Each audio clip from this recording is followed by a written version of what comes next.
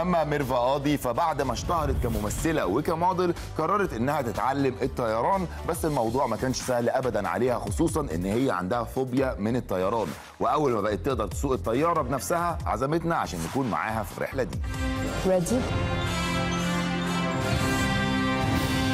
وقبل ما تعمل ال take off اتأكدت إن كل حاجة مظبوطة وحبت تطمن فريق ET بالعربي على طريقتها. أنا بس أريح ضميري بصراحة إذا بدك تودعي حدا بدك صار ما صار لا سمح الله مثلا.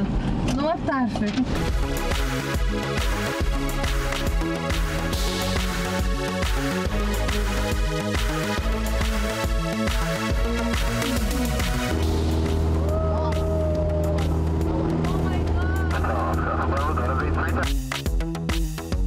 ميرفا كانت اتدربت على سواقة الطيارة بإشراف pilot لكن دي أول مرة بتطير على علو 500 قدم.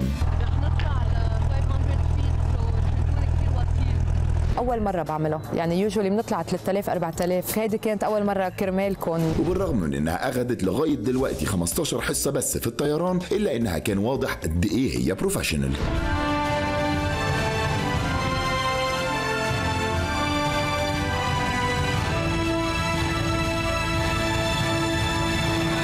خلص بدي فرجي أحسن شيء يعني إنه كل شيء تعلمته بدي أحطه هون ما بدي غلط.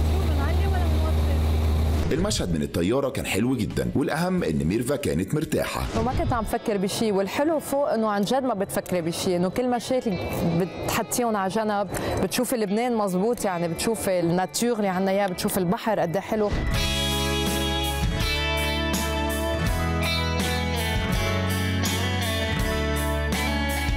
واللي ناس كتير ما تعرفهوش إنها ما كانتش بتحب الطيران ولا عمرها فكرت إنها تتعلمه. آخر ثلاث أربع سنين صرت كل ما يكون عندي سفرة موت رعبة ما بعرف شو يصير فيي. so بالصدفة تعرفت على كابتن عدنان يموت. قال لي إنه لما بتاخدي cours ات هيدا الشيء كسر لي ال phobie تبعي. بتعطيك image وهي أقوى بكثير مما بتكون بس بتبين إنه هي ضعيفة وما بتعرف. وعشان تبقى professional أكتر لسه عندها حوالي 20 حصة عشان تاخد شهادة في مجال الطيران الخاص. إن شاء الله أقدر اخذ ال license اللي هي بتصير بعدين فيك تاخذي طياره تسوقيها تكزدري أصحابك فيها مثل ما هلأ اليوم عملنا. وقبل ما تودعنا عزمتنا على trip تانية بس المرة دي لوحدها. نسيت المفتاح معي.